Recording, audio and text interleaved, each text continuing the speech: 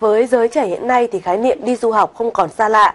Tuy nhiên để giành được học bổng tại các trường danh giá và nhận được tài trợ toàn bộ học phí thì không phải là việc dễ dàng. Thế nhưng những ngày này tại Nghệ An, có một học sinh lớp 12 đang được khá nhiều bạn trẻ ngưỡng mộ khi nhận giành được tới học bổng của 4 trường đại học ở Mỹ. Trong đó có một học bổng của Tổng thống Mỹ dành tặng cho sinh viên quốc tế. Và chúng ta sẽ gặp gỡ chàng trai tài năng này ngay bây giờ. Cậu học sinh lớp 12C5 trường Trung học phổ thông chuyên Phan Bội Châu này đang được khá nhiều bạn trẻ biết đến khi được học bổng của 4 trường đại học ở Mỹ. Trong đó có một học bổng của Tổng thống Mỹ dành tặng cho sinh viên quốc tế với số lượng giới hạn. Cái bộ hồ sơ này nó gồm có những cái thông tin cần thiết cũng như là à, những cái bảng điểm, những cái thành tích học tập à, và những cái hoạt động ngoại khóa mình tham gia cũng như đi kèm theo đó là một cái bài luận. Thì uh, bài luận này là cái cái cái cái thứ mà khiến em mất nhiều thời gian nhất. Thì rất may mắn là em là gặp được một cái người hướng dẫn viên của của một cái anh du học sinh ở bên à, nước ngoài ấy. Thì uh, anh ấy hỗ trợ em thì khi mà em viết bản đầu tiên của bài là hai nghìn rưỡi tư.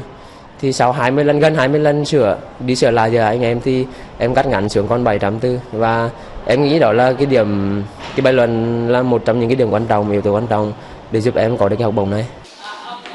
Trước đó, từng là một trong năm học sinh xuất sắc nhất của Việt Nam được nhận học bổng toàn phần tham gia chương trình thủ lĩnh thanh niên ASEAN 2015, tham quan và học tập tại Mỹ trong 3 tuần.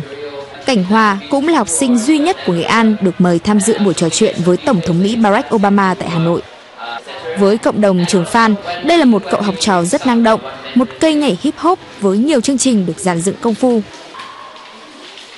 Nó khẳng định được cái um, sự nỗ lực phấn đấu của em trong uh, 12 năm học.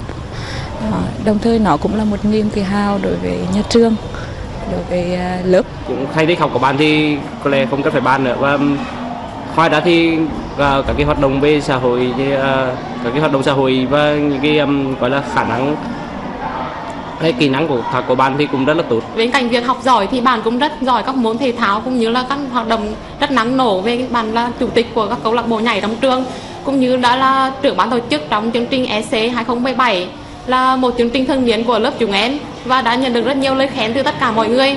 Tuy nhiên, với cậu học sinh này thì đây vẫn chưa phải là tham vọng và sự lựa chọn cuối cùng của mình. Em vẫn muốn tiếp tục thử sức với các kỳ thi quốc gia sắp tới. Đây vừa là áp lực nhưng cũng là động lực để chiến thắng bản thân và cho mình nhiều cơ hội lựa chọn hơn.